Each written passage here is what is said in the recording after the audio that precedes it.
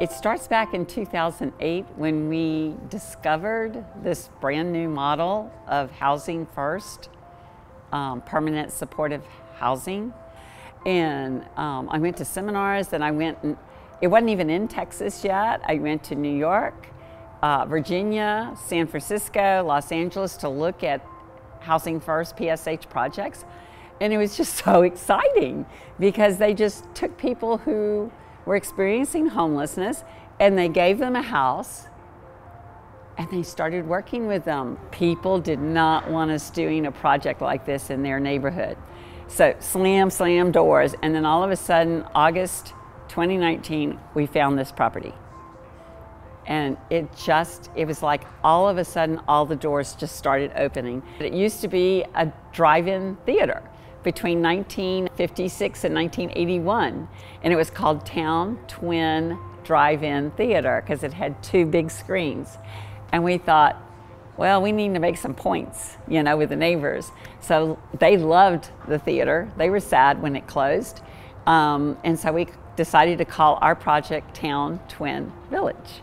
The board's vision uh, several years ago was to create a village where people that are experiencing homelessness or that are currently unhoused can have a place to stay, uh, not only uh, a house, but a home, because they're constantly worried about uh, their things being stolen or maybe uh, being accosted by somebody, a passerby, or even uh, another person that's living in that encampment. When everything is said and done, uh, they're slated to have 208 units um, that will be comprised of tiny homes, uh, apartments, and the RV trailers. Each of the, uh, each of the tiny homes, um, as well as the RVs, uh, they are all self-contained. So what I mean by that is uh, they have a living area, they have a, uh, a bathroom, um, a bedroom,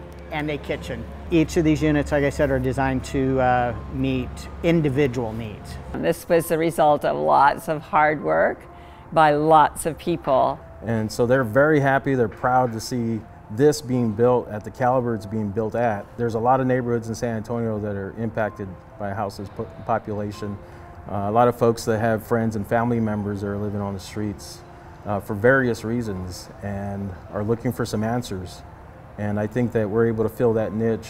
We're going to be offering services to people who live on site, but also people who are still unhoused. So at the front of our site, they're going to be providing our mental health support. So we'll have several licensed professional counselors, psychiatrists, all of that officing out of our clinic, as well as physicians, dentists. Our folks right now, a huge barrier to them is getting to and from appointments. It's so difficult, especially with the bus. And we're really hoping that one central location for them to get all of these services will help meet a lot of those gaps.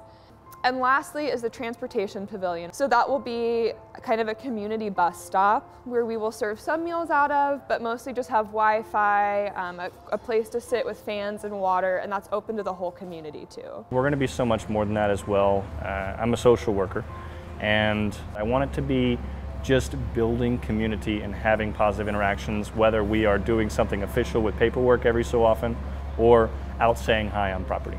One thing that's really important is that we're trauma informed, and what that essentially means is we have an overall awareness.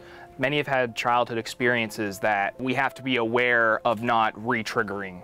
You know, someone might come in right off the bat and they're like, I got this. You know, I've been waiting for a house for 10 years. I'm ready to move in. But some people might need a lot of help for several years with figuring out how to fold their laundry, put it in the dryer and stuff, but we want to walk through them with that whole process and meet them where they're at and support them as much as we can with it while still encouraging them to have as much independence as they're ready for. We will also have volunteers who live on site called PALs.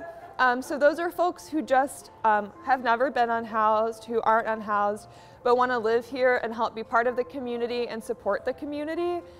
And the matter of fact is that working in this field just inherently means that you're trying to do the most with a small amount of resources to help the most amount of people.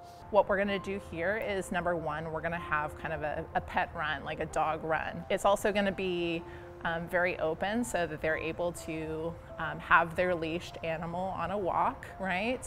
And having animals can be very beneficial. So we also want to be able to help um, them with things like vet clinics to set our folks up for success if they do have an animal. I'm a volunteer staff member at Catholic Worker House and it looks like we're going to move our residents to here and serve out of here in the near future and and so it's it's going to be an interesting change. You know, it's it's just so easy to to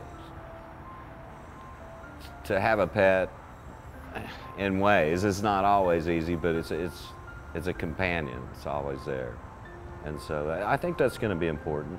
You know, and you see a lot of people that are homeless that have pets, but it's not easy. It's not easy on the streets. So I think that's going to be a big plus for people. I really do. I think we're really going to stand out and maybe get some kind of momentum going so that this will take off. Dignity is one of our biggest values here, and when people move in, they're just our neighbors. They're just people who live in our community. They're not people who we're trying to rescue or people who we're trying to save. They're just friends who live in a cool neighborhood that happens to be on this site. This is not only a very exciting and important thing we're doing here for San Antonio, this is something that should be duplicated throughout not only Texas, but throughout the country. I care so much about the people who will be moving in. It's the whole reason that I work here. I just hope that it's engaging and it's obvious that people cherish each other. Once all is said and done, is a dream. It's rare